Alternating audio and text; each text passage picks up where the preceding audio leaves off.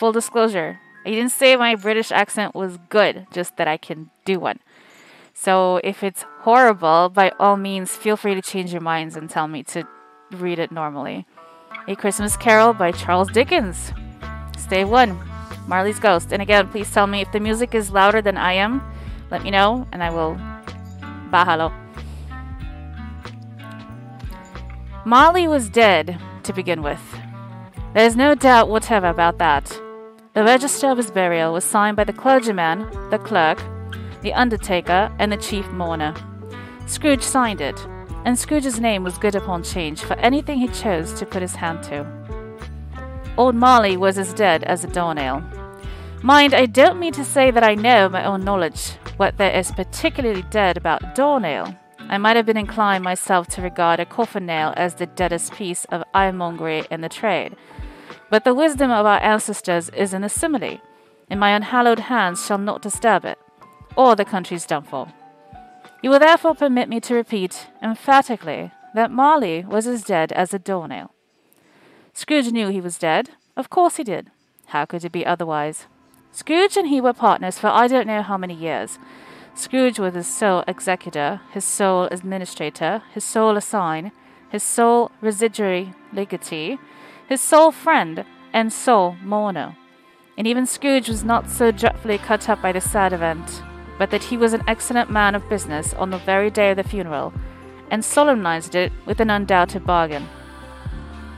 The mention of Marley's funeral brings me back to the point I started from. There is no doubt that Marley was dead. This must be distinctly understood, or nothing wonderful can come of the story I'm going to relate. If we were not perfectly convinced that Hamlet's father died before the play began, there would be nothing more remarkable in his taking a stroll at night in an easterly wind upon his own ramparts than there would be in any other middle aged gentleman rashly tuning out after dark in a breezy spot. Say, St. Paul's churchyard, for instance, literally to astonish his son's weak mind. Scrooge never painted out old Marley's name, there it stood, years afterwards, above the warehouse door Scrooge and Marley. The firm was known as Scrooge and Marley. Sometimes people new to the business called Scrooge Scrooge, and sometimes Marley, but he answered to both names. It was all the same to him. Oh, but he was a tight fisted hand at the grindstone, Scrooge. A squeezing, wrenching, grasping, scraping, clutching, covetous old sinner hard and sharp as flint, from which no steel had ever struck out generous fire, secret and self contained and solitary as an oyster. The cold within him froze his old features, nipped his pointed nose, shriveled his cheek, stiffened his gait, made his eyes red, his thin lips blue, and spoke out shrewdly in his grating voice. A frosty rime was on his head, and on his eyebrows and his wiry chin. He carried his own low temperature always about with him. He iced his office in the dog days and didn't thaw it one degree at Christmas. External heat and cold had little influence on Scrooge. No warmth could warm, no wintry weather chill him. No wind that blew was bitterer than he, no falling snow was more intent upon its purpose, no pelting rain less open to entreaty. Foul weather didn't know where to have him. The heaviest rain and snow and hail and sleet could boast of the advantage over him in only one respect. They often came down handsomely, and Scrooge never did. Nobody ever stopped him in the street to say, with gladsome looks, My dear Scrooge, how are you? When will you come to see me? No beggars implored him to bestow a trifle. No children asked him what it was o'clock no man or woman ever once in all his life inquired the way to such and such a place of Scrooge. Even the linemen's dogs appeared to know him, and when they saw him coming on, would tug their owners into doorways and up courts, and then would wag their tails as though they said, No eye at all is better than an even eye, Dalkmaster. But what did Scrooge care? It was the very thing he liked. To edge his way along the crowded paths of life, warning all human sympathy to keep its distance, was what the knowing ones call nuts to Scrooge. Once upon a time, of all the good days in the year on Christmas Eve, old Scrooge sat busy in his counting house. It was cold, bleak, biting weather, foggy withal, and he could hear the people in the court outside go freezing, go wheezing up and down, beating their hands upon their breasts and stamping their feet upon the pavement stones to warm them. The city clocks had only just gone three, but it was quite dark already. It had not been night all day, and candles were flaring in the windows of the neighboring offices like ruddy smears upon the palpable brown air. The fog came pouring in at every chink and keyhole, and was so dense without that although the court was of the narrowest, the houses opposite were mere phantoms. To see the dingy clouds come drooping down, obscuring everything, one might have thought that nature lived hard by and was brewing on a large scale. The door of Scrooge's counting house was open that he might keep his eye upon his clerk, who in a dismal little cell beyond, a sort of tank, was copying letters. Scrooge had a very small fire, but the clerk's fire was so very much smaller that it looked like one coal. But he couldn't replenish it, for Scrooge kept the coal box in his own room. And so surely as the clerk came in with the shovel, the master predicted that it would be necessary for them to part. Wherefore the clerk put on his white comforter and tried to warm himself at the candle, in which effort, not being a man of a strong imagination, he failed. a Merry Christmas, Uncle! God save you! cried a cheerful voice. It was the voice of Scrooge's nephew, who came upon him so quickly that this was the first intimation he had of his approach. Bah, said Scrooge. Humbug! He had so heated himself with rapid walking in the fog and frost, this nephew of Scrooge's, that he was all in a glow. His face was ruddy and handsome, his eyes sparkled, and his breath smoked again. Christmas a humbug, uncle, said Scrooge's nephew. You don't mean that, I'm sure. I do, said Scrooge. Merry Christmas. What right have you to be merry? What reason have you to be merry? You're poor enough. Come then, returned the nephew gaily. What right have you to be dismal? What reason have you to be morose? You're rich enough. Scrooge, having no better answer ready on the spur of the moment, said bah again and followed it up with humbug. Don't be cross, uncle, said the nephew. What else can I be? returned the uncle, when I live in such a world of fools as this. Merry Christmas! Out upon Merry Christmas! What's Christmas time to you but a time for paying bills without money? A time for finding yourself a year older but not an hour richer? A time for balancing your books and having every item in them through a round dozen of months presented dead against you? If I could work my will, said Scrooge indignantly, every idiot who goes about with Merry Christmas on his lips should be boiled with his own pudding and buried with a stake of holly through his heart. He should. Uncle, pleaded nephew. Nephew, returned the uncle sternly. Keep Christmas in your own way, and let me keep it in mine. Keep it, repeated Scrooge's nephew. But you don't keep it. Let me leave it alone then, said Scrooge. Much good may it do to you, much good it has ever done you. There are many things from which I might have derived good, by which I have not profited, I dare say, returned the nephew. Christmas among the rest. But I am sure I have always thought of Christmas time, when it has come round, apart from the veneration due to its sacred name and origin, if anything belonging to it can be apart from that, as a good time, a kind, forgiving, charitable, pleasant time. The only time I know of in the long calendar of the year when men and women seem by one consent to open their shut up hearts freely, and to think of people below them as if they really were fellow passengers to the grave, and not another race of creatures bound on other journeys. And therefore, uncle, though it has never put a scrap of gold or silver in my pocket, I believe that it has done me good and will do me good, and I say, God bless it. The clerk in the tank involuntarily applauded. Becoming immediately sensible of the impropriety, he poked the fire and extinguished the last frail spark for ever. Let me hear another sound from you, said Scrooge, and you'll keep your Christmas by losing your situation. You're quite a powerful speaker, sir, he added, turning to his nephew. I wonder you don't go into Parliament. Don't be angry, Uncle. Come dine with us tomorrow. Scrooge said that he would see him. Yes, indeed he did. He went the whole length of the expression and said that he would see him in that extremity first. But why? cried Scrooge's nephew. Why? Why did you get married? said Scrooge. Because I fell in love. Because you fell in love? growled Scrooge, as if that were the only one thing in the world more ridiculous than a Merry Christmas. Good afternoon. Nay, uncle, but you never came to see me before that happened. Why give it as a reason for not coming now? Good afternoon, said Scrooge. I want nothing from you. I ask nothing of you. Why cannot we be friends? Good afternoon, said Scrooge. I am sorry, with all my heart, to find you so resolute.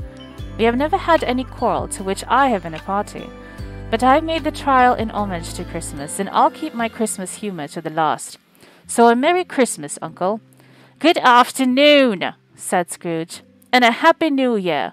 Good afternoon, said Scrooge.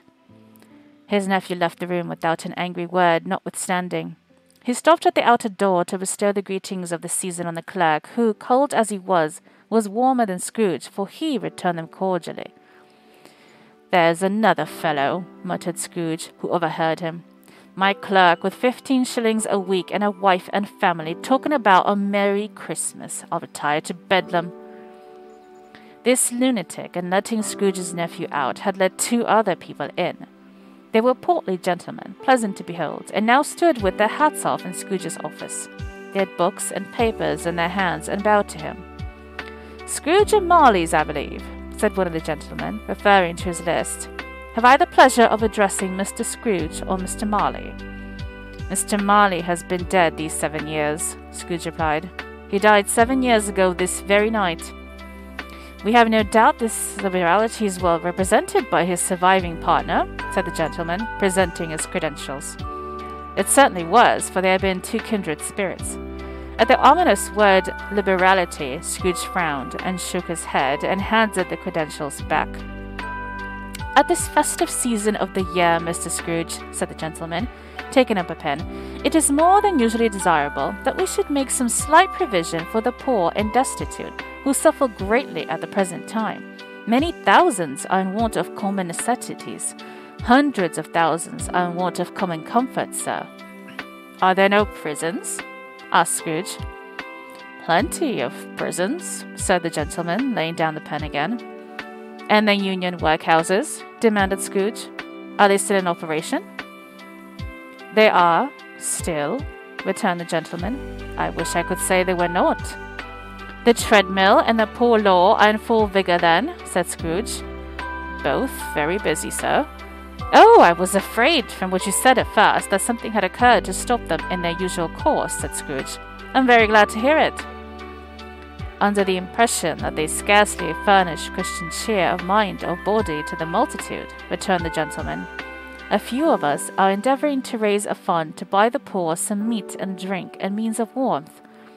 We choose this time because it is a time of all others when want is keenly felt and abundance rejoices. What shall I put you down for? Nothing, Scrooge replied. You wish to be anonymous? I wish to be left alone, said Scrooge. Since you ask me what I wish, gentlemen, that is my answer. I don't make Merry Christmas. I don't make merry myself at Christmas, and I can't afford to make idle people merry. I help to support the establishments I have mentioned. They cost enough, and those who are badly off must go there. Many can't go there, and many would rather die. If they would rather die, said Scrooge, they had better do it, and decrease the surplus population. Besides, excuse me, I don't know that. But you might know it, observed the gentleman. It's not my business, Scrooge returned. It's enough for a man to understand his own business and not interfere with other people's. Mine occupies me constantly. Good afternoon, gentlemen. Seeing clearly that it would be useless to pursue their point, the gentleman withdrew.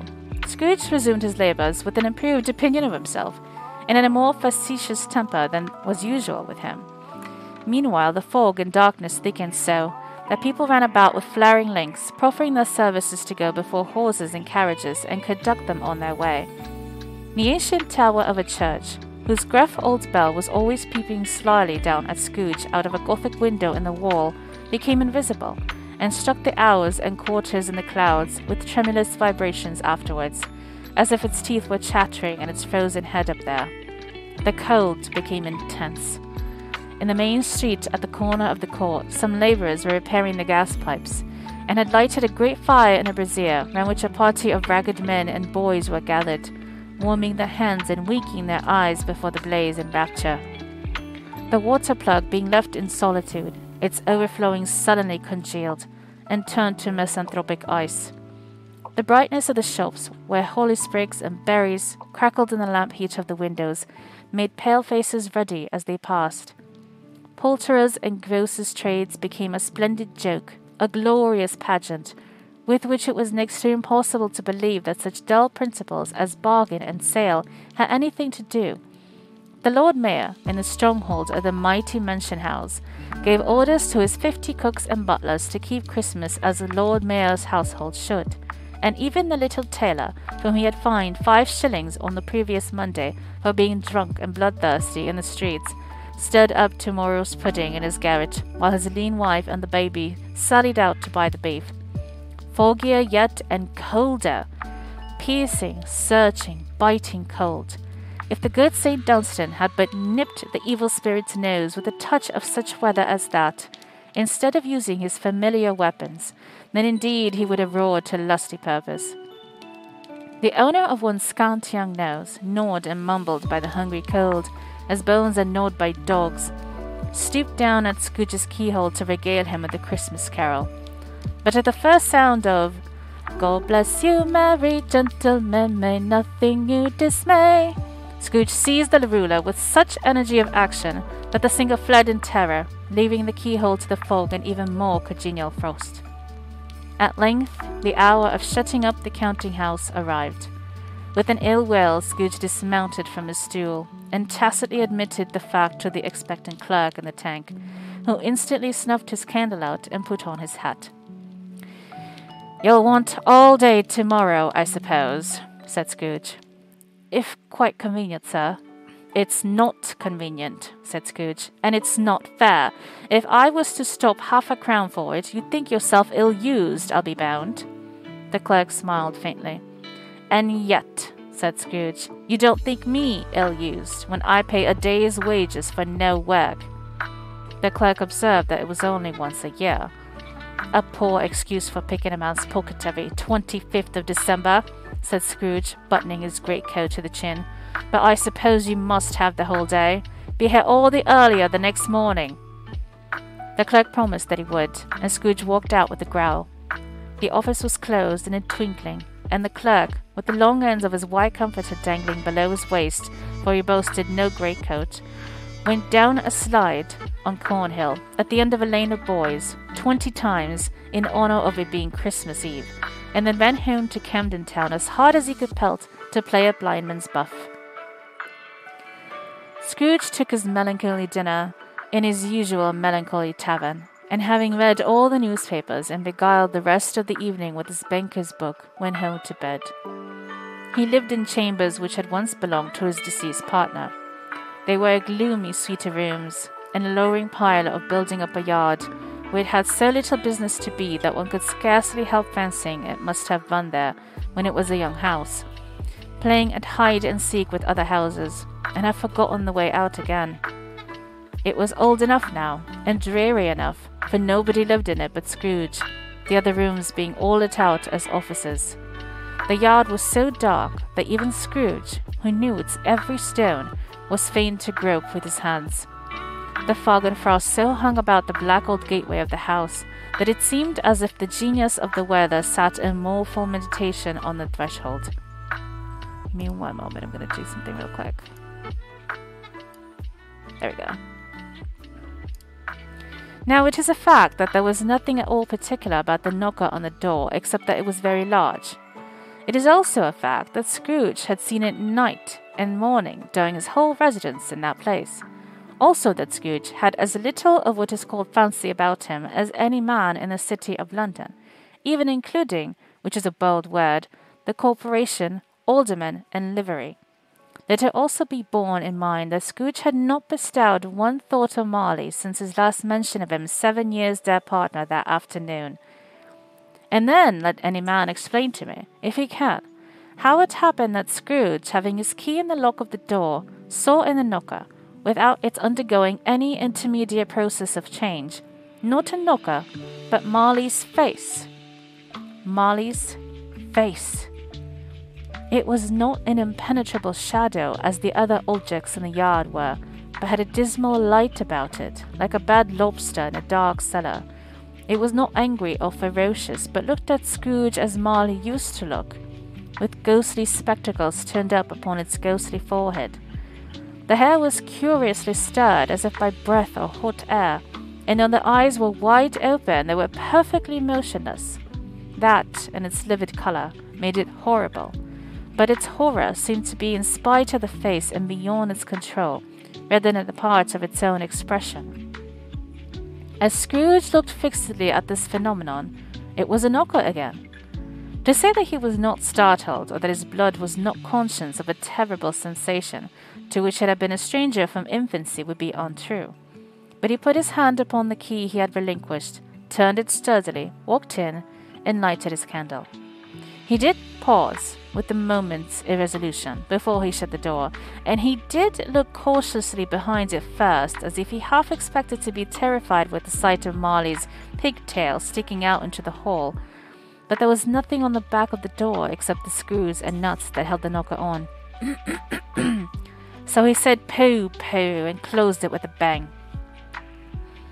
The sound resounded through the house like thunder. Every room above and every cask in the wine cellars merchants below appeared to have a separate peal of echoes of its own. Scrooge was not a man to be frightened by echoes. He fastened the door and walked across the hall and up the stairs, slowly too, trimming his candle as he went.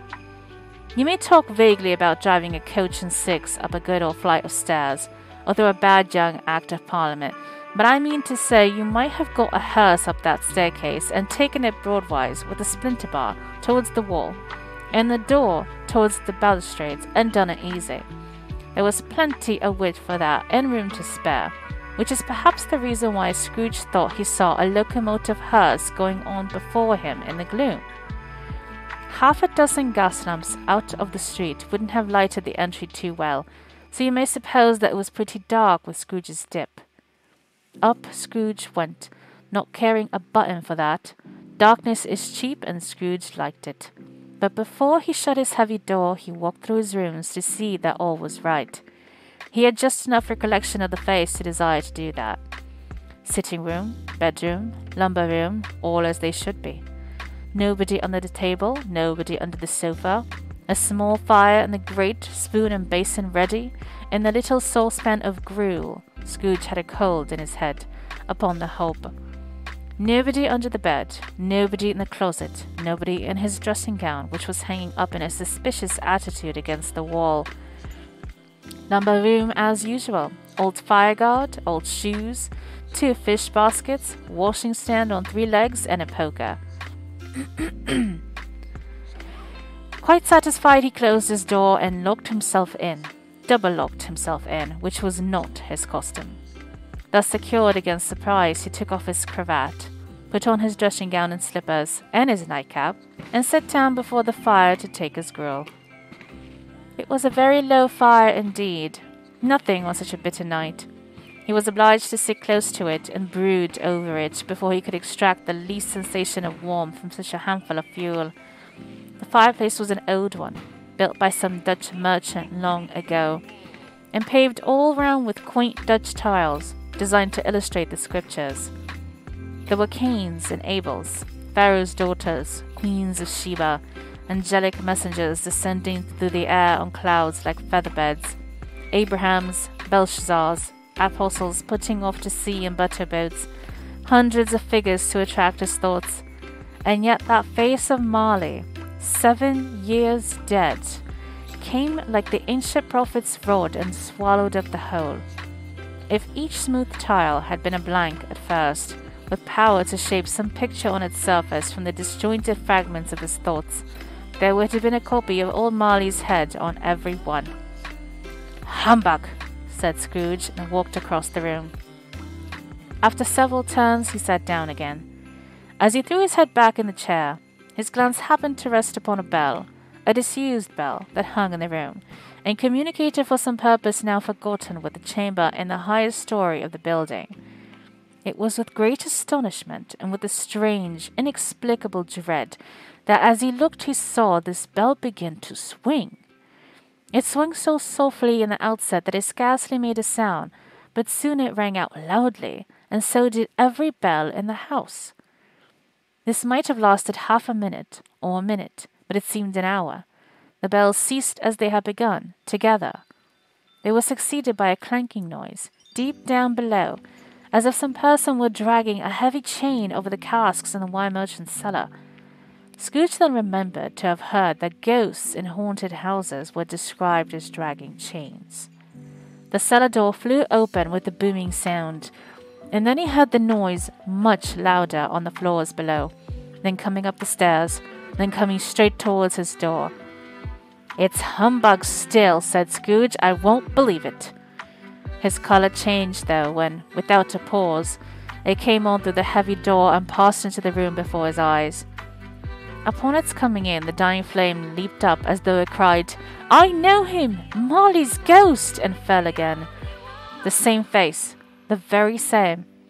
Marley in his pigtail, usual waistcoat, tights, and boots, the tassels on the latter bristling like his pigtail, and his coat skirts and the hair upon his head. The chain he drew was clasped about his middle. It was long and wound about him like a tail, and it was made, for Scrooge observed it closely, of cash boxes, keys, padlocks, ledgers, deeds, and heavy purses wrought in steel. His body was transparent, so that Scrooge, observing him, and looking through his waistcoat, could see the two buttons on his coat behind. Scrooge had often heard it said that Marley had no bowels, but he had never believed it until now. No, nor did he believe it even now.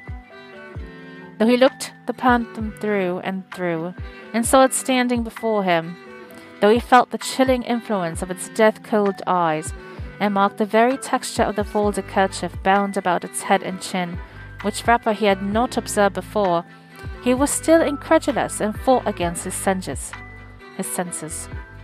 How now? said Scrooge, caustic and cold as ever. What do you want with me? Much. Marley's voice, no doubt about it. Who are you? Ask me who I was. Who were you then? said Scrooge, raising his voice. You're particular for a shade. He was going to say to a shade, but substituted this as more appropriate. In life, I was your partner, Jacob Marley. Can you can you sit down? asked Scrooge, looking doubtful at him. I can. Do it then, Scrooge asked the question because he didn't know whether a ghost so transparent might find himself in condition to take a chair, and felt that in the event of its being impossible, it might involve the necessity of an embarrassing explanation. But the ghost sat down on the opposite side of the fireplace, as if he were quite used to it. You don't believe in me, observed the ghost. I don't, said Scrooge. What evidence would you have of my reality beyond that of your senses? I don't know, said Scrooge. Why do you doubt your senses? Because, said Scrooge, a little thing affects them. A slight disorder of the stomach makes them cheats. You may be an undigested bit of beef, a blot of mustard, a crumb of cheese, a fragment of an underdone potato. There's more of gravy than of grave about you, whatever you are. Scrooge was not much in the habit of cracking jokes, nor did he feel in his heart by any means waggish then. The truth is that he tried to be smart as a means of distracting his own attention and keeping down his terror, for the spectre's voice disturbed the very marrow in his bones. To sit, staring at those fixed, glazed eyes, in silence for a moment would play, Scrooge felt, the very deuce with him. There was something very awful, too, in the spectre's being provided with an infernal atmosphere of its own. Scrooge could not feel it himself, but this was clearly the case, for though the ghost sat perfectly motionless, its hair and skirts and tassels were still agitated as by the hot vapour from an oven. You see this toothpick? said Scrooge, returning quickly to the charge, for the reason just assigned, in wishing, though it were only for a second, to divert the vision's stony gaze from himself. I do, replied the ghost. You are not looking at it, said Scrooge. But I see it, said the ghost, notwithstanding. Well, returned Scrooge, I have but to swallow this, and be for the rest of my days persecuted by a legion of goblins, all of my own creation. Humbug, I tell you. Humbug! At this the spirit raised a frightful cry, and shook its chain with such a dismal and appalling noise that Scrooge held on tight to his chair to save himself from falling in a swoon. But how much greater was his horror when the phantom, taking off the bandage round its head, as if it were too warm to wear indoors, its lower jaw dropped down upon its breast. Scrooge fell upon his knees and clasped his hands before his face. Mercy! He said. Dreadful apparition! Why do you trouble me? Man of the worldly mind, replied the ghost, do you believe in me or not? I do, said Scrooge. I must. But why do spirits walk the earth, and why do they come to me? It is required of every man, the ghost returned, that the spirit within him should walk abroad among his fellow men and travel far and wide. And if that spirit goes not forth in life, it is condemned to do so after death. It is doomed to wander through the world. Oh, woe is me! And witness what it cannot share, but might have shared on earth and turned to happiness. Again the spectre raised a cry and shook its chain and wrung its shadowy hands. You are fettered, said Scrooge, trembling. Tell me why. I wear the chain I forged in life, replied the ghost. I made it link by link and yard by yard. I girded it on of my own free will, and of my own free will I wore it. Is its pattern strange to you? Scrooge trembled more and more. Or would you know, pursued the ghost, the weight and length of the strong coil you bear yourself? It was full as heavy and as long as this seven Christmas Eves ago. You have labored on it since. It is a ponderous chain. Scrooge glanced about him on the floor in the expectation of finding himself surrounded by some fifty or sixty fathoms of iron cable, but he could see nothing. Jacob, he said imploringly, old Jacob Marley, tell me more. Speak comfort to me, Jacob. I have none to give, the ghost replied. It comes from other regions, Ebenezer Scrooge, and is conveyed by other ministers to other kinds of men nor can I tell you what I would. A very little more is all permitted to me. I cannot rest. I cannot stay. I cannot linger anywhere. My spirit never walked beyond our counting house. Mark me. In life, my spirit never rode beyond the narrow limits of our money changing hole, and weary journeys lie before me. It was a habit with Scrooge, whenever he became thoughtful, to put his hands in his breeches pockets. Pondering on what the ghost had said, he did so now, but without lifting up his eyes or getting off his knees. You must have been very slow about it, Jacob, Scrooge observed, in a business-like manner, though with humility and def- No peace, incessant torture of remorse, you travel fast, said Scrooge. On the wings of the wind, replied the ghost. You might have got over a great quantity of ground in seven years, said Scrooge. The ghost, on hearing this, set up another cry, and clanked its chain so hideously in the dead silence of the night that the ward would have been justified in indicting it for a nuisance. Oh, captive, bound, and double ironed, cried the phantom not to know that ages of incessant labor by immortal creatures, for this earth must pass into eternity, before the good of which it is susceptible is all developed. not to know that any Christian spirit working kindly in its little sphere, whatever it may be, will find its mortal life too short for its vast means of usefulness.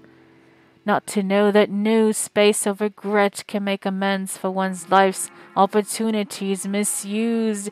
Yet such was I, oh, such was I. But you were always a good man of business, Jacob, faltered Scrooge, who now began to apply this to himself. Business! cried the ghost, wringing its hands again. Mankind was my business. The common welfare was my business. Charity, mercy, forbearance, and benevolence were all my business. The dealings of my trade were but a drop of water in the comprehensive ocean of my business. It held up its chain at arm's length, as if that were the cause of all its unavailing grief, and flung it heavily upon the ground again. At this time of the rolling year, the spectre said, I suffer most. Why did I walk through crowds of fellow beings with my eyes turned down, and never raised them to that blessed star which led the wise men to a poor abode. Were there no poor homes to which its light would have conducted me? Scrooge was very much dismayed to hear the spectre going on at this rate, and began to quake exceedingly. Hear me, cried the ghost. My time is nearly done. I will, said Scrooge, but don't be hard upon me. Don't be flowery, Jacob, pray. How it is that I appear before you in a shape that you can see, I may not tell. I have sat invisible beside you many and many a day. It was not an agreeable idea. Scrooge shivered and wiped the perspiration from his brow. That is no light part of my penance, pursued the ghost. I am here tonight to warn you that you have yet a chance and hope of escaping my fate, a chance and hope of my procuring Ebenezer. You were always a good friend to me, said Scrooge. Thank ye. You will be haunted, resumed the ghost, by three spirits. Scrooge's countenance fell almost as low as the ghost's had done. Is that the chance and hope you mentioned, Jacob? he demanded in a faltering voice. It is. I I think I'd rather not, said Scrooge. Without their visits, said the ghost, you cannot hope to shun the path I tread. Expect the first tomorrow, when the bell tolls one. Couldn't I take 'em all at once and have it over, Jacob? hinted Scrooge. Expect the second on the next night at the same hour. The third upon the next night when the last stroke of twelve has ceased to vibrate. Look to see me no more, and look that, for your own sake, you remember what has passed between us. When it had said these words, the spectre took its wrapper from the table and bound it round its head as before. Scrooge knew this by the smart sound its teeth made when the jaws were brought together by the bandage. He ventured to raise his eyes again, and found his supernatural visitor confronting him with an erect attitude, with his chain wound over and about its arm.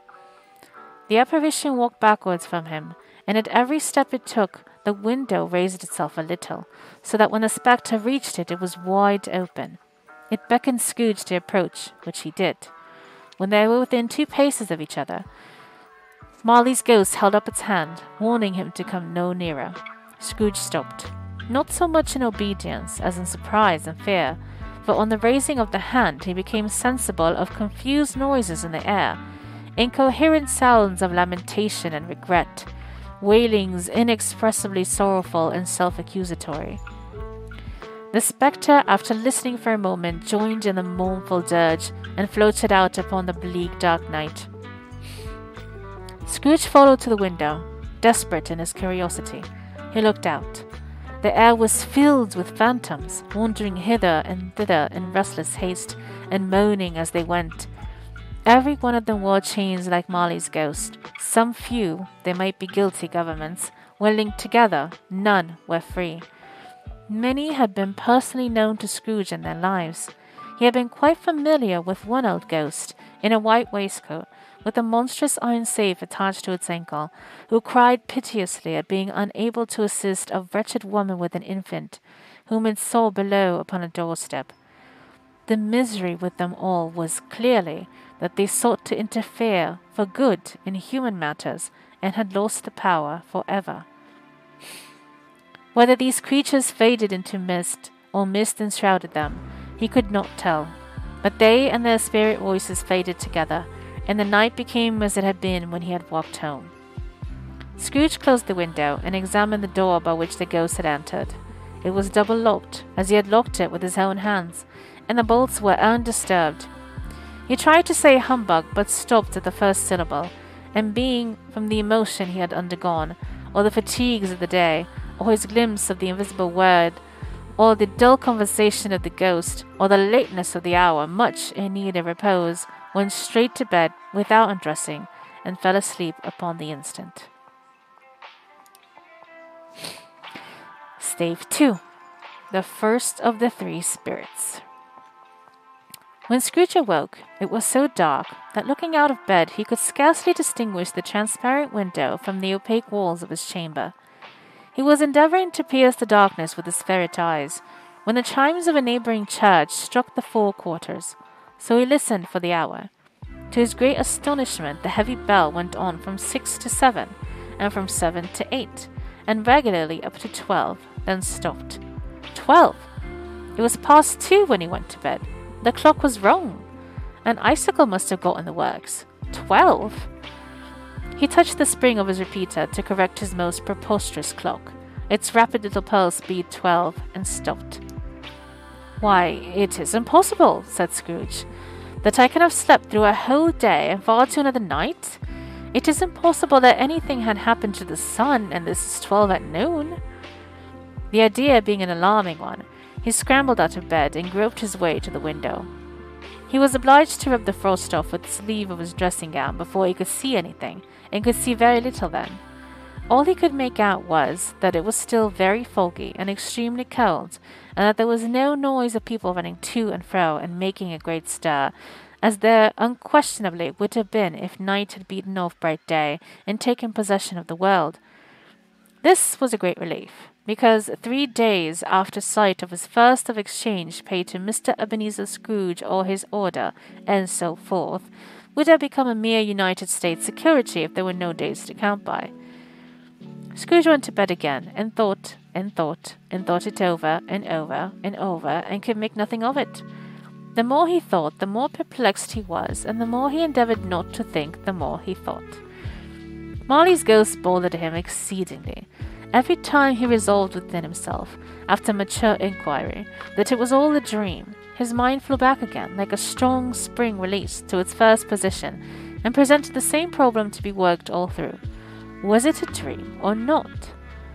Scrooge lay in a state until the chimes had gone three quarters more, when he remembered, on a sudden, that the ghost had warned him of a visitation when the bell tolled one. He resolved to lie awake until the hour had passed, and considering he could no more go to sleep than go to heaven, this was perhaps the wisest resolution in his power.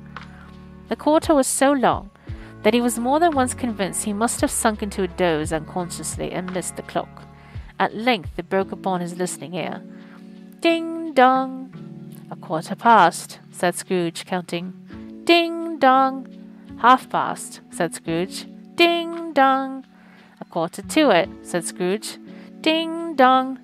The owl itself, said Scrooge triumphantly, and nothing else. He spoke before the owl bell sounded, which it now did with a deep, dull, hollow, melancholy one. Light flashed up in the room upon the instant, and the curtains of his bed were drawn. The curtains of his bed were drawn aside, I tell you, by a hand.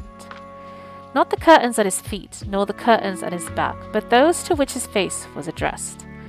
The curtains of his bed were drawn aside, and Scrooge, starting up into a half recumbent attitude, found himself face to face with the unearthly visitor who drew them, as close to it as I am now to you, and I am standing in the spirit at your elbow.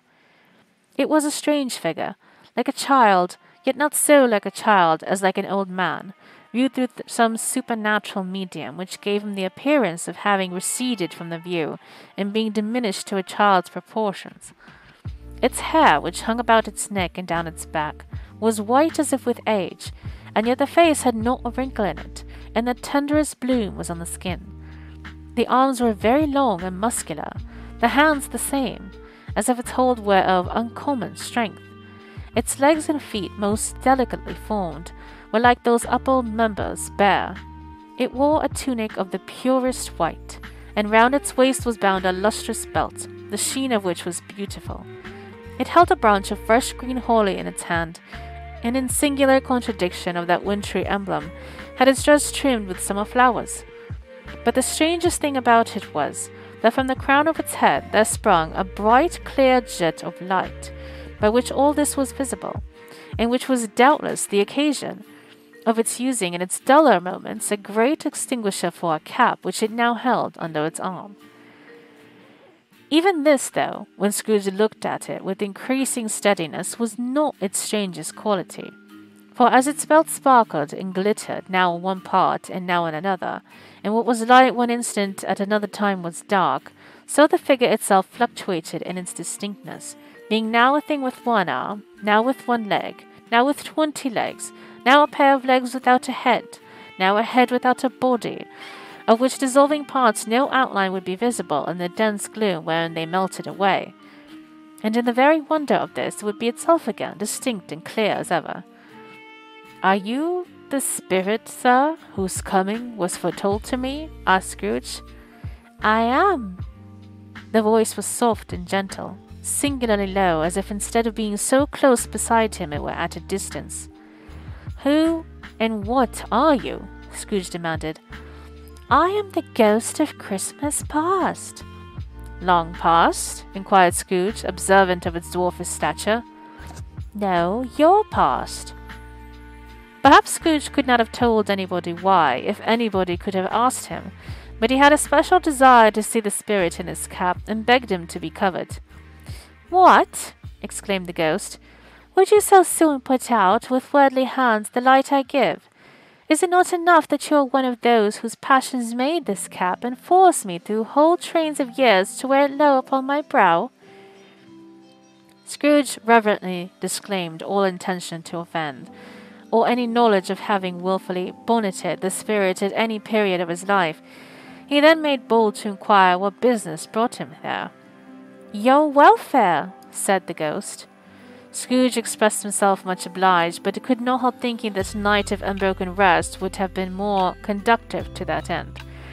The spirit must have heard him thinking, for it said immediately, Your reclamation, then. Take heed. It put out its strong hand as it spoke and clasped him gently by the arm. Rise and walk with me. It would have been in vain for Scrooge to plead that the weather and the hour were not adapted to pedestrian purposes, that bed was warm, and that the thermometer a long way below freezing, that he was clad but lightly in his slippers, dressing gown, and nightcap, and that he had a cold upon him at that time. The grasp, though gentle as a woman's hand, was not to be resisted. He rose, but finding that the spirit made towards the window, clasped its throat in supplication. I am a mortal, Scrooge remonstrated, and liable to fall. Bear but a touch of my hand there, said the spirit, laying it upon its heart, and you shall be upheld in more than this. As the words were spoken, they passed through the wall and stood upon an open country road, with fields on either hand. The city had entirely vanished, not a vestige of it was to be seen, the darkness and the mist had vanished with it, for it was a clear, cold winter day, with snow upon the ground. Good heaven, said Scrooge, clasping his hands together as he looked about him. I was bred in this place. I was a boy here. The spirit gazed upon him mildly. Its gentle touch, though it had been light and instantaneous, appeared still present to the old man's sense of feeling. He was conscious of a thousand odours floating in the air, each one connected with a thousand thoughts and hopes and joys and cares long, long forgotten. Your lip is trembling, said the ghost. And what is that upon your cheek? Scrooge muttered, with an unusual catching in his voice, that it was a pimple. and begged the ghost to lead him where he would. You recollect the way? inquired the spirit. Remember it, cried Scrooge with fervour. I could walk it blindfold. Strange to have forgotten it for so many years, observed the ghost. Let us go on. They walked along the road, Scrooge recognizing every gate and post and tree, until a little market town appeared in the distance, with its bridge, its church, and winding river. Some shaggy ponies now were seen trotting towards them with boys upon their backs, who called to other boys in country gigs and carts, driven by farmers.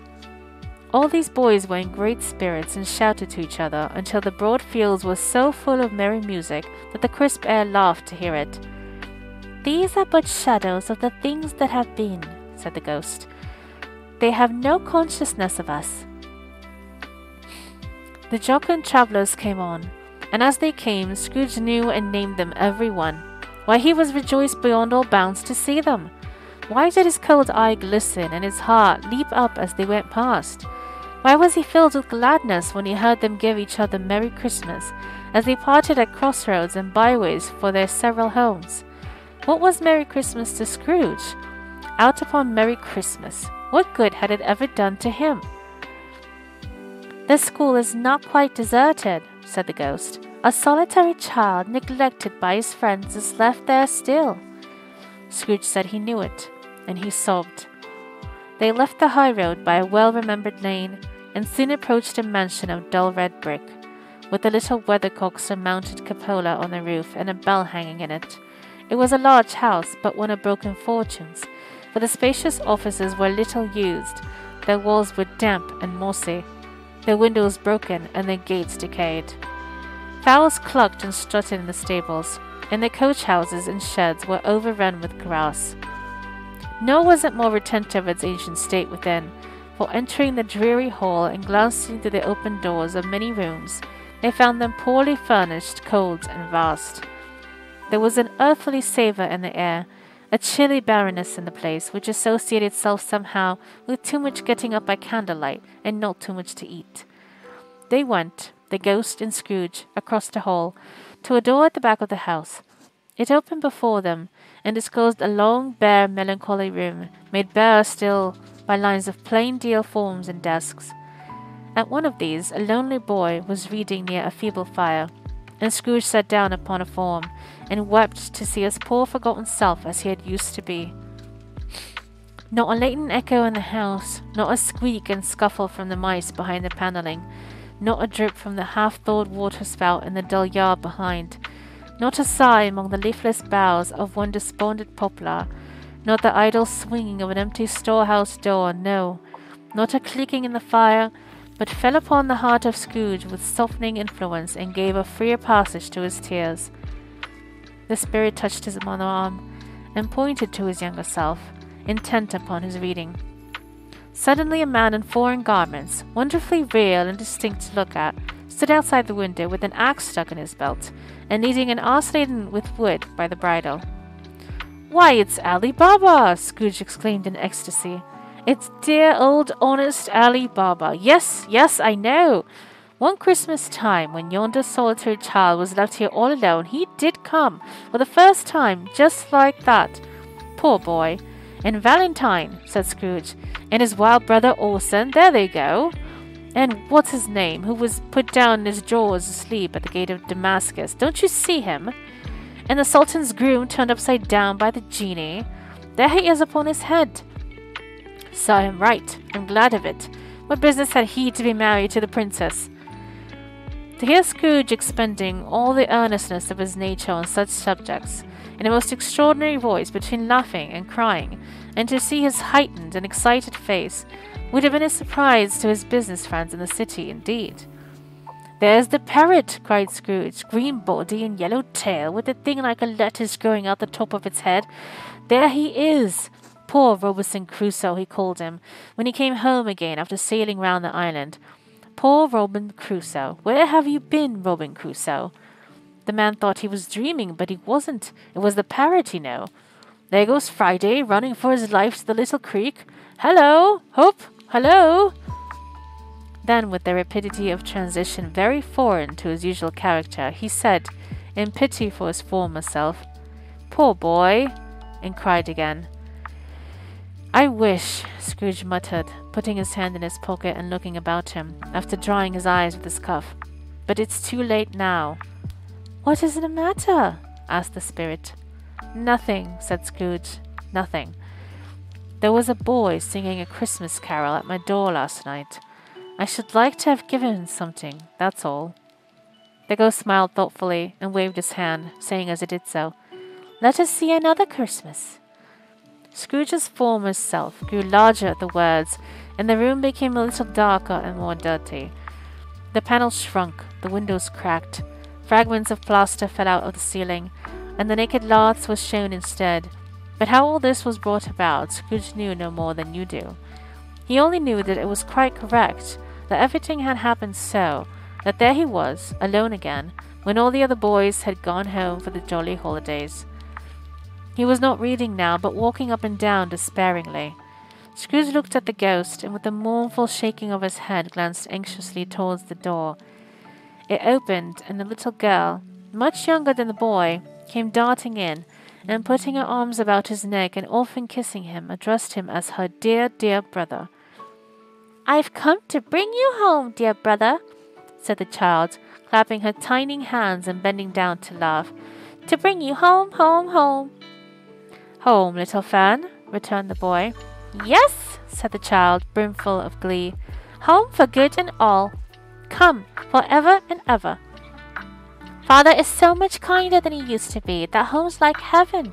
He spoke so gently to me one dear night when I was going to bed that I was not afraid to ask him once more if you might come home, and he said yes, you should, and sent me in a coach to bring you, and you're to be a man, said the child, opening her eyes and are never to come back here, but first we're to be together all the Christmas long and have the merriest time in all the world. You are quite a woman, little Fan, exclaimed the boy. She clapped her hands and laughed and tried to touch his head, but being too little, laughed again and stood on tiptoe to embrace him. Then she began to drag him in her childish eagerness towards the door, and he, nothing loath to do, accompanied her. A terrible voice in the hall cried, Bring down Master Scrooge's box there! And in the hall appeared the schoolmaster himself, who glared on Master Scrooge with a ferocious condescension, and threw him into a dreadful state of mind by shaking hands with him. He then conveyed him and his sister into the veriest old well of a shivering best parlour that ever was seen, where the maps upon the wall and the celestial and terrestrial globes in the windows were waxy with cold. Here he produced a decanter of curiously lit wine and a block of curiously heavy cake, and administered installments of those dainties to the young people. At the same time, sending out a meagre servant to offer a glass of something to the postboy, who answered that he thanked the gentleman, but if it was the same tap as he had tasted before, he'd rather not. Master Scrooge's trunk being by this time tied on the top of the chaise, the children bade the schoolmaster good-bye right willingly, and getting into it, drove gaily down the garden sweep, the quick wheels dashing the hoar frost and snow from off the dark leaves of the evergreens like spray. Always a delicate creature whom a breath might have withered, said the ghost, but she had a large heart. So she had, cried Scrooge. You're right. I'll not gainsay it, spirit, God forbid. She died like a woman, said the ghost, and had, as I think, children. One child, Scrooge returned. True, said the ghost. Your nephew. Scrooge seemed uneasy in his mind and answered briefly, Yes. Although they had but that moment left the school behind them, they were now in the busy thoroughfares of a city, where shadowy passengers passed and repassed, where shadowy carts and coaches battled for the way, and all the strife and tumult of a real city were, it was made plain enough by the dressing of the shops that here too it was Christmas time again, but it was evening and the streets were lighted up. The ghost stopped at a certain warehouse door and asked Scrooge if he knew it. Know it, said Scrooge. Was I apprenticed here? They went in. At sight of an old gentleman in a Welsh wig sitting behind such a high desk that if he had been two inches taller he might have knocked his head against the ceiling, Scrooge cried in great excitement, Why, it's old Fezziwig! Bless his heart, it's Fezziwig alive again! Old Fezziwig laid down his pen and looked up at the clock, which pointed to the hour of seven. He rubbed his hands, adjusted his capacious waistcoat, laughed all over himself, from his shoes to his organ of benevolence, and carried out in a comfortable, oily, rich, fat, jovial voice, Yo ho there, Ebenezer! Dick! Scrooge's former self, now grown a young man, came briskly in, accompanied by his fellow prentice. Dick Wilkins, to be sure, said Scrooge to the ghost. Bless me, yes, there he is. He was very much attached to me, was Dick. Poor Dick, dear, dear. Yo ho, my boys, said Fezziwig. No more work tonight. Christmas Eve, Dick. Christmas, Ebenezer. Let's have the shutters up, cried old Fezziwig with a sharp clap of his hands before a man can say Jack Robinson. You wouldn't believe how those two fellows went at it. They charged into the street with the shutters. One, two, three, had them up in their places. Four, five, six, barred them and pinned them. Seven, eight, nine, and came back before you could have got to twelve, panting like racehorses. Hilly ho! cried old Fezziwig, skipping down from the high desk with wonderful agility. Clear away, my lads, and let's have lots of room here. Hilly ho, Dick! Cheer up, Ebenezer! Clear away. There was nothing they wouldn't have cleared away, or couldn't have cleared away, with old Fezziwig looking on. It was done in a minute. Every movable was packed off as it was dismissed from public life for evermore. The floor was swept and watered, the lamps were trimmed, fuel was heaped upon the fire, and the warehouse was as snug and warm and dry and bright a ballroom as you would desire to see upon a winter's night. In came a fiddler with the music book, and went up to the lofty desk, and made an orchestra of it, and tuned like fifty stomach aches. In came Mrs. Fezziwig, one vast substantial smile. In came the three Miss Fezziwigs, beaming and lovable. In came the six young followers whose hearts they broke. In came all the young men and women employed in the business. In came the housemaid with her cousin, the baker. In came the cook with her brother's particular friend, the milkman. In came the boy from over the way, who was suspected of not having board enough from his master, trying to hide himself behind the girl from next door, but one who was proved to have had her ears pulled by her mistress. In all they came, one after another, some shyly, some boldly, some gracefully, some awkwardly, some pushing, some pulling. In they all came, anyhow and everyhow. Away they all went, twenty couple at once, Hans half round and back again the other way down the middle and up again, round and round in various stages of affectionate grouping. Old Topcouple was always turning up in the wrong place. New Topcouple starting off again.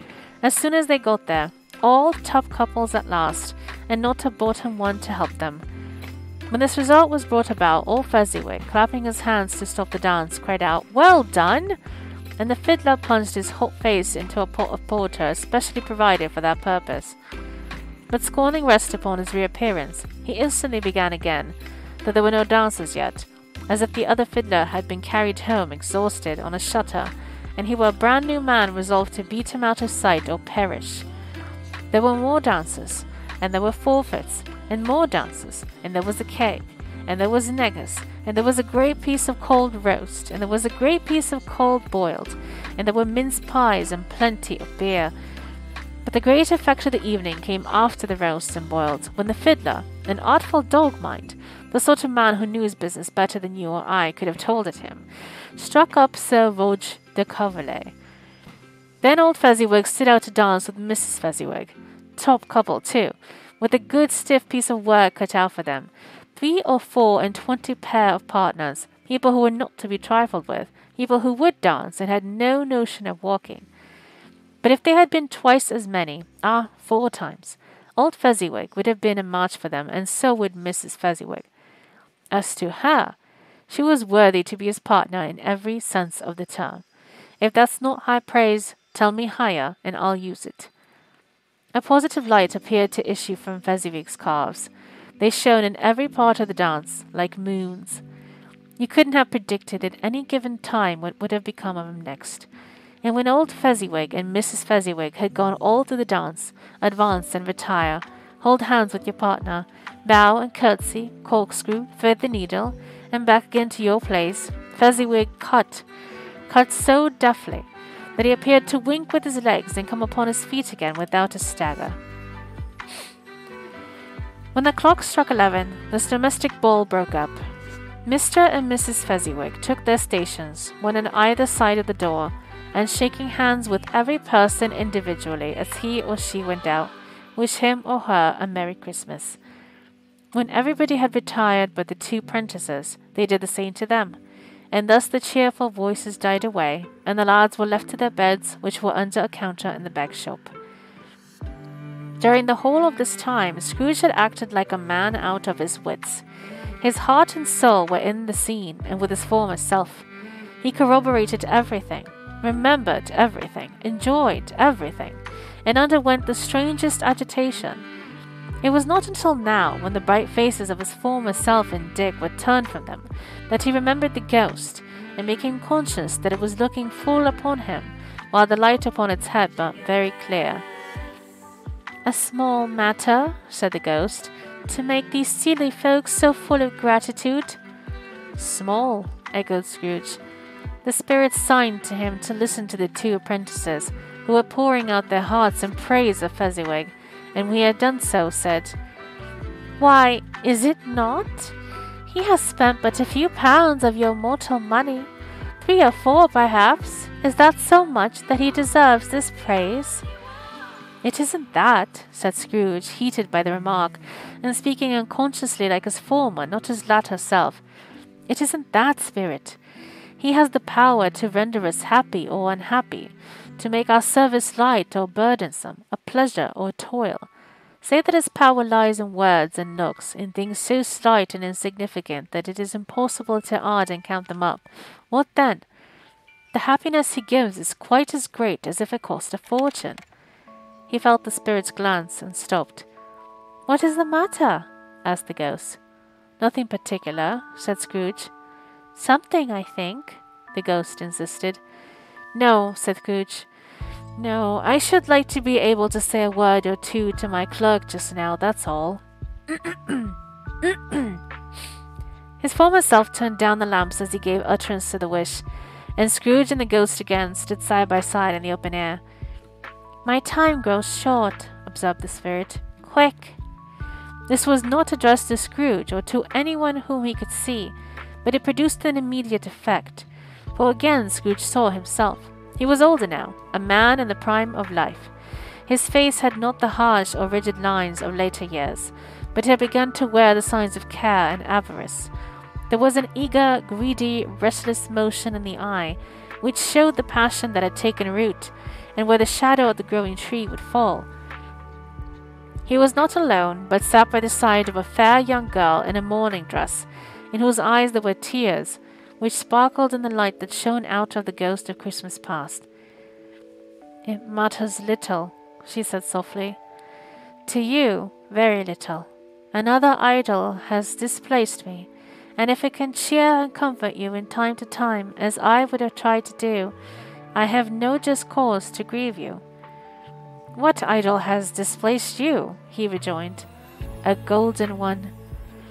This is the even handed dealing of the world, he said. There is nothing on which it is so hard as poverty, and there is nothing in professors to condemn with such severity as the pursuit of wealth. You fear the world too much, she answered gently. All your other hopes have merged into the hope of being beyond the chance of its sordid reproach. I have seen your noble aspirations fall off one by one until the master passion, gain, engrosses you. Have I not? What then? he retorted. Even if I had grown so much wiser, what then? I am not changed towards you. She shook her head. Am I? Our contract is an old one. It was made when we were both poor and content to be so, until in good season we could improve our worldly fortune by our patient industry. You are changed. When it was made, you were another man. I was a boy, he said impatiently. Your own feeling tells you that you are not what you are, she returned. I am. That which promised happiness when we were one in heart is fraught with misery now that we are two. How often and how keenly I have thought of this, I will not say. It is enough that I have thought of it and can release you. Have I ever sought release? In words, no, never. In what then? In a changed nature, in an altered spirit, in another atmosphere of life, another hope as its great end, in everything that made my love of any worth or value in your sight. If this had ever had never been between us, said the girl, looking mildly but with steadiness upon him. Tell me, would you seek me out and try to win me now? Ah, no. He seemed to yield to the justice of the supposition in spite of himself, but he said with a struggle, You think not. I would gladly think otherwise if I could, she answered. Heaven knows. When I have learned a truth like this, I know how strong and irresistible it must be. But if you were free today, tomorrow, yesterday, cannot even I believe that you would choose a dowerless girl? You, who in your very confidence with her, weigh everything by gain, or choosing her if for a moment you were false enough to your one guiding principle to do so, do I not know that your repentance and regret will surely follow? I do, and I release you, with a full heart, for the love of him you once were. He was about to speak, but with her head turned from him, she resumed. you may. The memory of what is past half makes me hope you will have pain in this. A very, very brief time. And you will dismiss the recollection of it gladly as an unprofitable dream from which it happened well that you awoke. May you be happy in the life you have chosen. She left him and they parted. Spirit, said Scrooge, show me no more. Conduct me home. Why do you delight to torture me? One shadow more, exclaimed the ghost. No more, cried Scrooge. No more. I don't wish to see it. Show me no more. But the relentless ghosts pinioned him in both his arms and forced him to observe what happened next. They were in another scene and place, a room, not very large or handsome, but full of comfort. Near to the winter fire sat a beautiful young girl, so like the last that Scrooge believed it was the same, until he saw her, now a comely matron, sitting opposite her daughter. The noise in this room was perfectly tumultuous, for there were more children there than Scrooge in his agitated state of mind could count.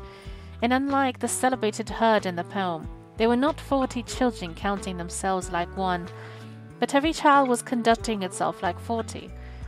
The consequences were uproarious beyond belief, but no one seemed to care. On the contrary, the mother and daughter laughed heartily and enjoyed it very much, and the latter, soon beginning to mingle in the sports, got pillaged by the young brigands most ruthlessly. What would I not have given to be one of them? Though I never could have been so rude, no, no. I wouldn't for the wealth of all the world have crushed that braided hair and torn it down and for the precious little shoe, I wouldn't have plucked it off, God bless my soul, to save my life. As to measuring her waist in sport, as they did, bold young brood, I couldn't have done it. I should have expected my arm to have grown rounded for a punishment and never come straight again. And yet I should have dearly liked, I own, to have touched her lips, to have questioned her, that she might have opened them, to have looked upon the lashes of her downcast eyes and never raised a blush, to have let loose waves of hair an inch of which would be a keepsake beyond price. In short, I should have liked, I do confess, to have had the lightest license of a child, and yet been man enough to know its value.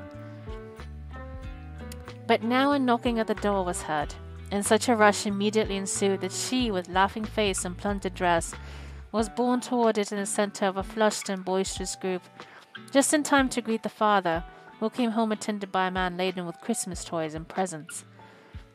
Then the shouting and the struggling and the onslaught that was made on the defenseless porter, scaling him with chairs for ladders to dive into his pockets, despoil him of brown paper parcels, hold on tight by his cravat, hug him round the neck, pummel his back, and kick his legs in irrepressible affection.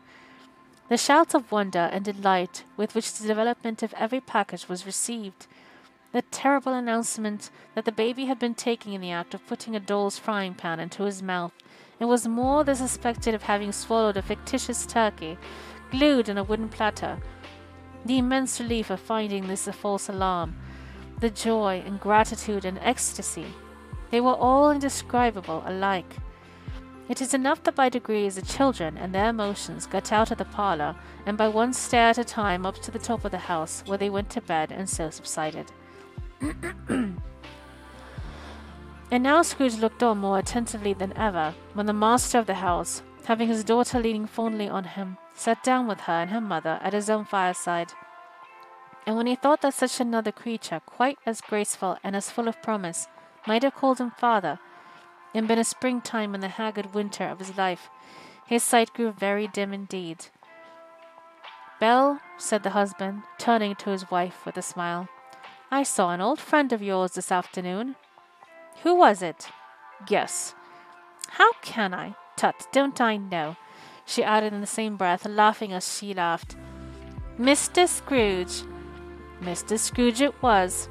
I passed his office window, and as it was not shut up, and he had a candle inside, I could scarcely help seeing him. His partner lies upon the point of death, I hear, and there he sat alone. Quite alone in the world, I do believe. Spirit, said Scrooge in a broken voice, remove me from this place. I told you these were shadows of the things that have been, said the ghost. That they are what they are, do not blame me. Remove me, Scrooge exclaimed. I cannot bear it. He turned upon the ghost, and seeing that it looked upon him with a face, in which in some strange way there were fragments of all the faces that had shown him, wrestled with it. Leave me! Take me back! Haunt me no longer! In the struggle, if that could be called a struggle, in which the ghost, with no visible resistance on its own part, was undisturbed by any effort of its adversary, Scrooge observed that its light was burning high and bright, and dimly connecting that with its influence over him. He seized the extinguisher cap, and by a sudden action pressed it down upon its head. The spirit dropped beneath it, so that the extinguisher covered its whole form. But though Scrooge pressed it down with all his force, he could not hide the light, which streamed from under it in an unbroken flood upon the ground. He was conscious of being exhausted and overcome by an irresistible drowsiness, and further of being in his own bedroom he gave the cap a parting squeeze, in which his hand relaxed, and had barely time to reel to bed before he sank into a heavy sleep. Stave 3 The second of the three spirits. Awaking in the middle of a prodigiously tough snore, and sitting up in bed to get his thoughts together, Scrooge had no occasion to be told that the bell was again upon the stroke of one he felt that he was restored to consciousness in the right nick of time, for the especial purpose of holding a conference with the second messenger dispatched to him through Jacob Marley's intervention. But finding that he turned uncomfortably cold when he began to wonder which of his curtains this new spectre would draw back, he put them every one aside with his own hands, and lying down again established a sharp lookout all round the bed for he wished to challenge the spirit on the moment of its appearance, and did not wish to be taken by surprise and made nervous. Gentlemen of the free and easy sort, who plume themselves on being acquainted with a move or two, and being usually equal to the time of day, express the wide range of their capacity for adventure by observing that they are good for anything from pitch and toss to manslaughter, between which opposite extremes, no doubt, there lies a tolerably wide and comprehensive range of subjects. Without venturing for Scrooge quite as hardily as this, I don't mind calling on to you to believe that he was ready for a good broad field of strange appearances, and that nothing between a baby and a rhinoceros would have astonished him very much. Now, being prepared for almost anything, he was not by any means prepared for nothing, and consequently when the bell struck one, and no shape appeared, he was taken with a violent fit of trembling. Five minutes, ten minutes, a quarter of an hour went by, yet nothing came. All this time he lay upon his bed, the very core and centre of a blaze of ruddy light, which streamed upon it when the clock proclaimed the hour, and which, being only light, was more alarming than a dozen ghosts, as he was powerless to make out what it meant or would be at and was sometimes apprehensive that he might be at that very moment an interesting case or spontaneous combustion, without having the consolation of knowing it. At last, however, he began to think, as you or I would have thought at first, for it is always the person not in the predicament who knows what ought to have been done in it, and would unquestionably have done it too. At last, I say, he began to think that the source and secret of this ghostly light might be in the adjoining room, from whence, on further tracing it, it seemed to shine. This idea taking full possession of his mind, he got up softly and shuffled in his slippers to the door. The moment Scrooge's hand was on the lock, a strange voice called him by his name and bade him enter. He obeyed. It was his own room. There was no doubt about that, but it had undergone a surprising transformation. The walls and ceiling were so hung with living green that it looked a perfect grove, from every part of which bright gleaming berries glistened. The crisp leaves of holly, mistletoe, and ivy reflected back the light, as if so many little mirrors had been scattered there. And such a mighty blaze went roaring up the chimney as that dull petrification of a hearth had never known in Scrooge's time. Sorry. Or Marley's, or for many and many a winter season gone. Heaped up upon the floor to form a kind of throne, were turkeys, geese, game, poultry, brawn, great joints of meat, sucking pigs, long wreaths of sausages, mince pies, plum puddings. This is making me so hungry. Oh my god. Sorry, I'm just like imagining this pile of food. Barrels of oysters, red hot chestnuts, cherry cheeked apples, juicy oranges, luscious pears, immense twelve cakes, and seething bowls of punch that made the chamber dim with their delicious steam. My entire mouth just filled with saliva. In easy state upon his couch there sat a jolly giant, glorious to see, who bore a glowing torch and shaped not unlike Plenty's horn. and held it up, high up, to shed its light on Scrooge as he came peeping through the door. Come in! exclaimed the ghost. Come in and know me better, man. Scrooge entered timidly and hung his head before the spirit. He was not the dogged Scrooge he had been, and though his eyes were clear and kind, he did not like to meet them. I am the ghost of Christmas present, said the spirit. Look upon me. Scrooge reverently did so. It was clothed in one simple deep green robe or mantle bordered with white fur. This garment hung so loosely on the figure that its capacious breast was bare, as if disdaining to be warded or concealed by any artifice. Its feet, observable beneath the ample folds of the garment, were also bare, and on its head it wore no other covering than a holly wreath set here and there with shining icicles. Its dark brown curls were long and free, free as its genial face, its sparkling eye, its open hand, its cheery voice, its unconstrained demeanor, and its joyful air. Girded round its middle was an antique scabbard, but no sword was in it, and the ancient sheath was eaten up with rust. You have never seen the like of me before, exclaimed the spirit. Never, Scrooge made answer to it have never walked forth with the younger members of my family, meaning, for I am very young, my elder brothers born in these later years, pursued the phantom. I don't think I have, said Scrooge. I am afraid I have not. Have you had many brothers, Spirit? Spirit? More than eighteen hundred, said the ghost. A tremendous family to provide for, muttered Scrooge. The ghost of Christmas present rose. Spirit, said Scrooge submissively. Conduct me where you will. I went forth last night on compulsion, and I learnt a lesson which is working now. Tonight, if you have aught to teach me, let me profit by it. Touch my robe. Scrooge did as he was told and held it fast. Holly, mistletoe, red berries, ivy, turkeys, geese, game, poultry, brawn, meat, pigs, sausages, oysters, Pies, puddings, fruit, and punch all vanished instantly.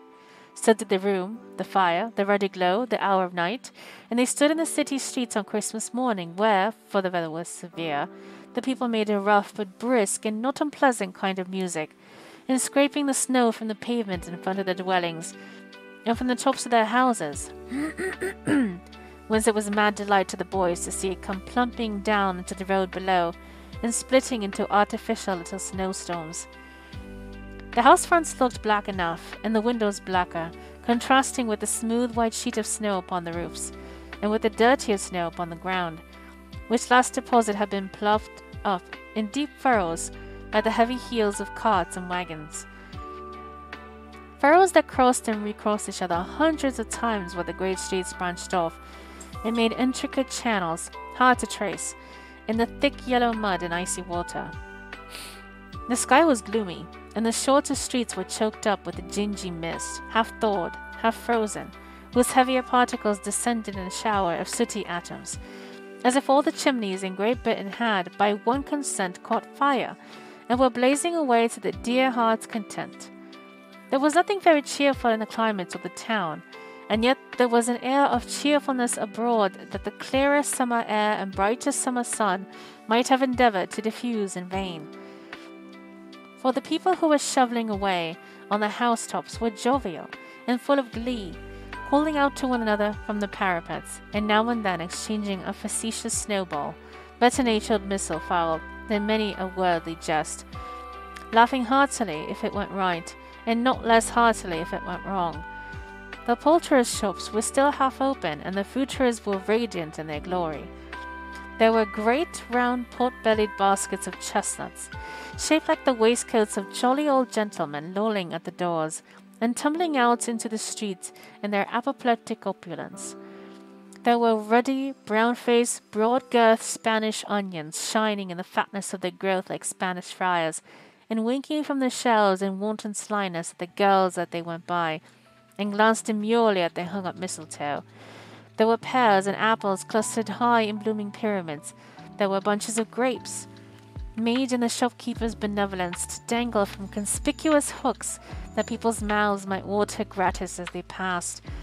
There were piles of filberts, mossy and brown, recalling in their fragrance ancient walks among the woods, and pleasant shufflings ankle deep through withered leaves. There were Norfolk biffins, squab and swarthy, setting off the yellow of the oranges and lemons, and in the great compactness of the juicy persons, urgently entreating and beseeching to be carried home in paper bags and eaten after dinner.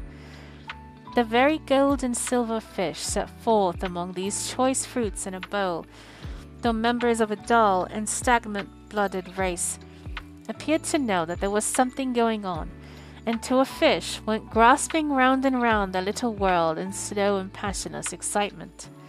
The grocers, oh, the grocers nearly closed, with perhaps two shutters down or one, but through those gaps such glimpses. It was not alone that the scales ascending on the counter made a merry sound, or that the twine and roller parted company so briskly. Highly decorated boxes or that everything was good to eat and in its Christmas dress.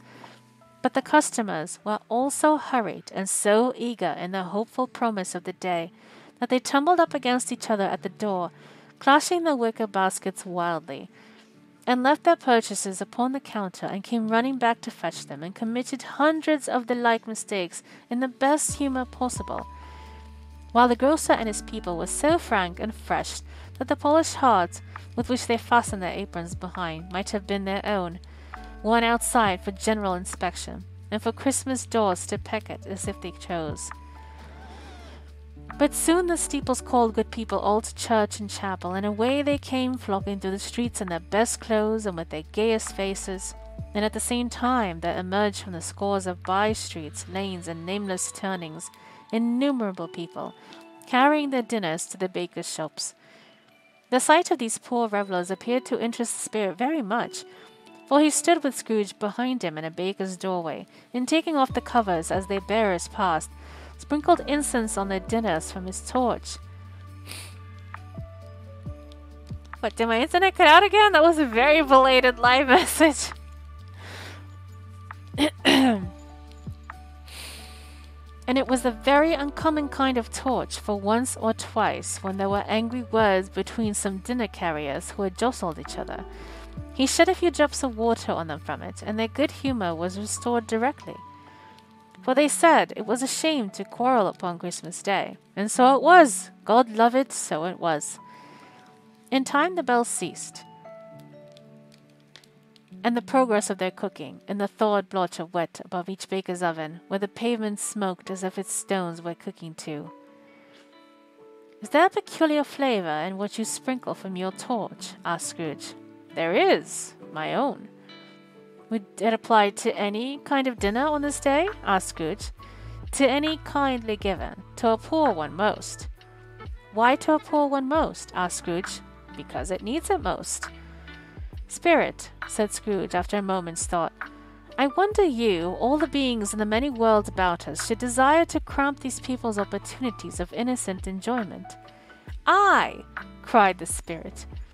You would deprive them of their means of dining every seventh day, often the only day on which they can be said to dine at all, said Scrooge. Wouldn't you?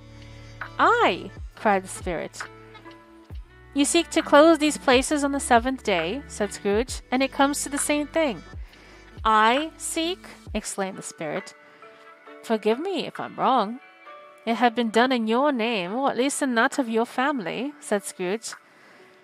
There are some upon this earth of ours, returned the spirit, who lay claim to know us, and who do their deeds of passion, pride, ill will, hatred, envy, bigotry, and selfishness in our name, who are as strange to us and all our kith and kin as if they had never lived. Remember that, and charge their doings on themselves, not us. Scrooge promised that he would, and they went on, invisible, as they had been before, into the suburbs of the town. It was a remarkable quality of the ghost which Scrooge observed at the baker's, that notwithstanding his gigantic size, he could accommodate himself to any place with ease, and that he stood beneath the low roof quite as gracefully, and like a supernatural creature, as it was possible he could have done in any lofty hall. And perhaps it was the pleasure the good spirit had in showing off this power of his, or else it was his own kind, generous, hearty nature, and his sympathy with all poor men, that led him straight to Scrooge's clerk's, for there he went, and took Scrooge with him, holding to his robe. And on the threshold of the door the spirit smiled and stopped to bless Bob Cratchit's dwelling with a sprinkling of his torch. Think of that! Bob had but fifteen bob a week himself, he pocketed on Saturdays, but fifteen copies of his Christian name, and yet the ghost of Christmas present blessed his four roomed house. Then up rose Mrs. Cratchit, Cratchit's wife, dressed out but poorly in a twice turned gown, but brave in ribbons, which are cheap, and make a goodly show of her sixpence.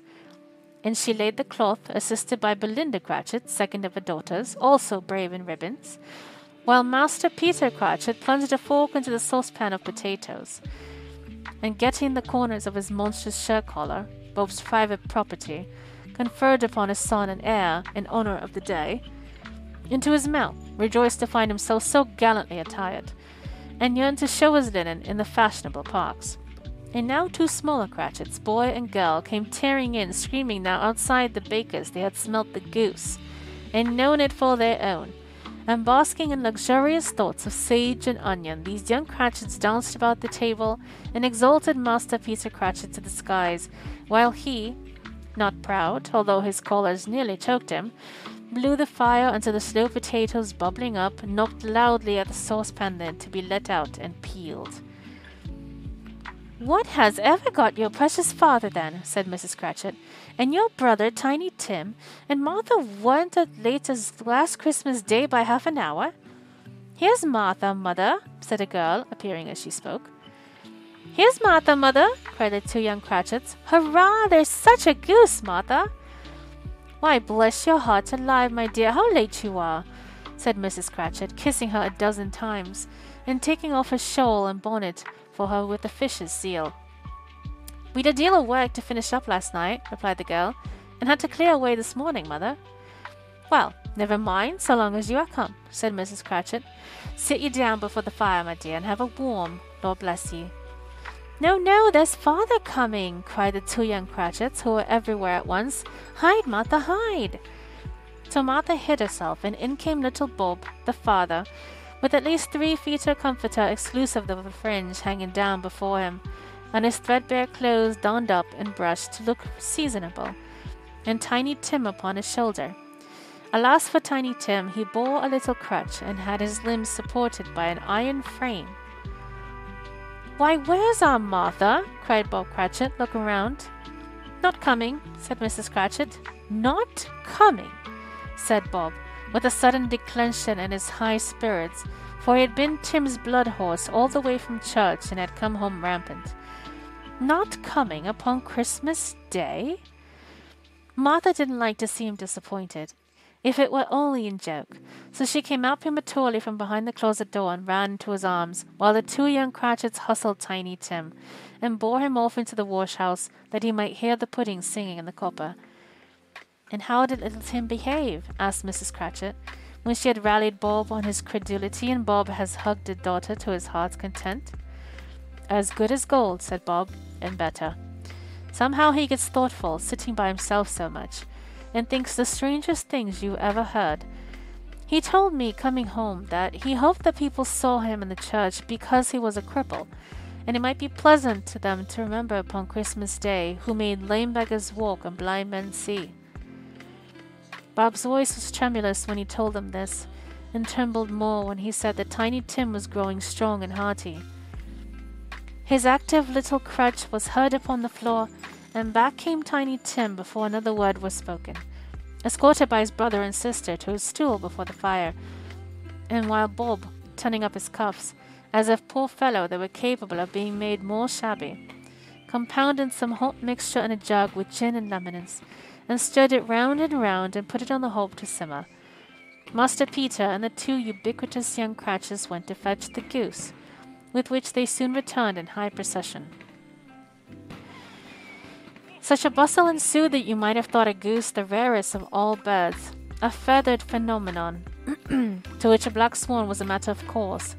and in truth, it was something very like it in that house. Mrs. Cratchit made the gravy, readily beforehand, in a little saucepan, hissing hot. Master Peter mashed the potatoes with incredible vigor.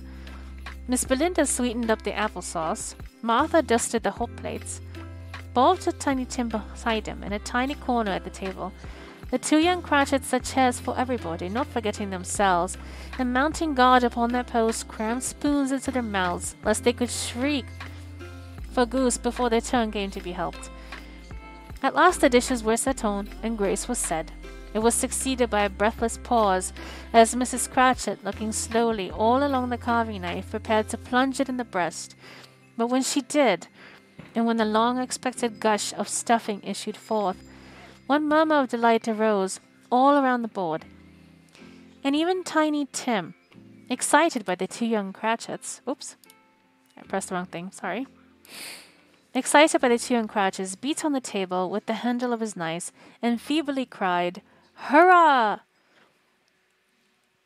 There never was such a goose. Bob said he didn't believe there ever was such a goose cooked.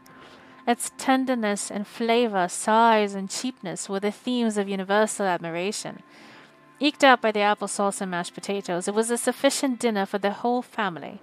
Indeed, as Mrs. Cratchit said with great delight, surveying one small atom of a bone upon the dish, they hadn't ate it all at last.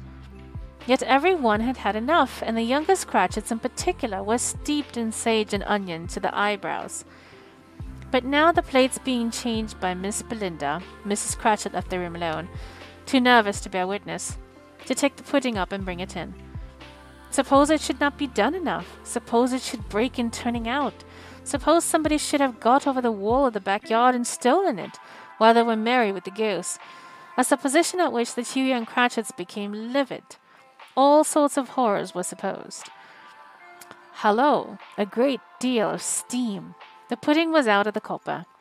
A smell like a washing day. That was the cloth. A smell like an eating house and a pastry's cook next door to each other, with the laundress next door to that. That was the pudding.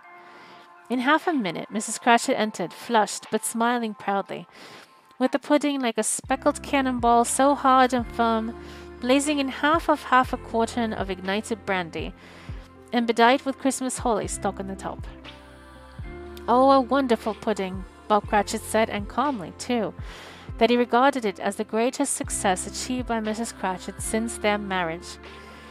Mrs. Cratchit said that now the weight was off her mind, she would confess she had had her doubts about the quantity of flour. Everybody had something to say about it, but nobody said or thought it was at all a small pudding for a large family. It would have been flat heresy to do so. Any Cratchit would have blushed to hint at such a thing. At last the dinner was all done. The cloth was cleared, the hearth swept, the fire made up. The compound and jug being tasted and considered perfect, apples and oranges were put upon the table, and a shovelful of chestnuts on the fire. Then all the Cratchit family drew round the hearth in what Bob Cratchit called a circle, meaning half a one. And at Bob Cratchit's elbow stood the family display of glass, two, meaning half a one. And at Bob Cratchit's elbow stood the family oh, display of glass, two tumblers, and a custard cup without a handle. These held the hot stuff from the jug, however, as well as the golden goblets would have done, and Bob served it out with beaming looks while the chestnuts on the fire sputtered and cracked noisily.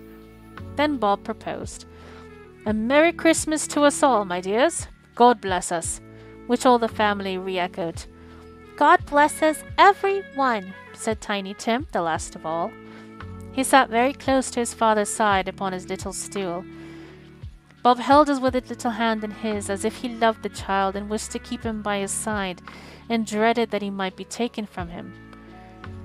Spirit, said Scrooge with an interest he had never felt before, tell me if Tiny Tim will live. I see a vacant seat, replied the ghost, in a poor chimney corner, and a crutch without an owner carefully preserved. If these shadows remain unaltered by the future, the child will die. No, no, said Scrooge. Oh, no, kind spirits say he will be spared. If these shadows remain unaltered by the future, none other of my race, returned the ghost, will find him here. What then? If he be like to die, he had better do it, and decrease the surplus population. Scrooge hung his head to hear his own words quoted by the spirit, and was overcome with penitence and grief. Man, said the ghost, if man you be in heart, not adamant, forbear that wicked cunt until you have discovered what the surplus is and where it is. Will you decide what men shall live, what men shall die? It may be that in the sight of heaven you are more worthless and less fit to live than millions like this poor man's child. Oh God, to hear the insect on the leaf pronouncing on the too much life among his hungry brothers in the dust. Scrooge bent down before the ghost's rebuke, and trembling cast his eyes upon the ground. But he raised them speedily on hearing his own name. Mr. Scrooge, said Bob. I'll give you Mr. Scrooge, the founder of the feast. The founder of the feast, indeed, cried Mrs. Cratchit, reddening. I wish I had him here. I'd give him a piece of my mind to feast upon, and I hope he'd have a good appetite for it. My dear, said Bob, the children. Christmas Day. It should be a Christmas day, I'm sure, said she, on which one drinks the health of such an odious, stingy, hard, unfeeling man as Mr. Scrooge. You know he is, Robert. Nobody knows it better than you do, poor fellow. My dear, was Bob's mild answer. Christmas Day. I'll drink his health for your sake and the day's, said Mrs. Cratchit, not for his. Long life to him, a Merry Christmas and a Happy New Year. He'll be very merry and very happy, I have no doubt. The children drank the toast after her. It was the first of their proceedings which had no heartiness in it. Tiny Tim drank it last of all, but he didn't care twopence for it. Scrooge was the ogre of the family. The mention of his name cast a dark shadow on the party, which was not dispelled for full or five minutes. After it had passed away, they were ten times merrier than before from the mere relief of Scrooge the baleful being done with. I'm going to finish this paragraph and then I'm going to have to stop because I have to go to the kitchen. But I will finish this tomorrow. Bob Cratchit told them how he had a situation in his eye for Master Peter, which would bring in, if obtained, full five and sixpence weekly. The two young Cratchits laughed tremendously at the idea of Peter's being a man of business, and Peter himself looked thoughtfully at the fire from between his collars as if he were deliberating what particular investments he should favor when he came into the receipt of that bewildering income. Martha, who was a poor apprentice at a milliner's, then told them what kind of work she had to do, and how many hours she worked at a stretch, and how she meant to lie abed tomorrow morning for a good long rest, tomorrow being a holiday she passed at home. Also, how she had seen a countess and a lord some days before, and how the lord was much about as tall as Peter, at which Peter pulled up his collar so high that you couldn't have seen his head if you had been there. All this time the chestnuts and the jug went round and round, and by and by they had a song about a lost child travelling in the snow, from Tiny Tim, who had a plaintive little voice and sang it very well indeed. We'll pick up where we left off tomorrow. Thank you guys for listening. I hope you enjoyed it. I hope my accent wasn't too terrible.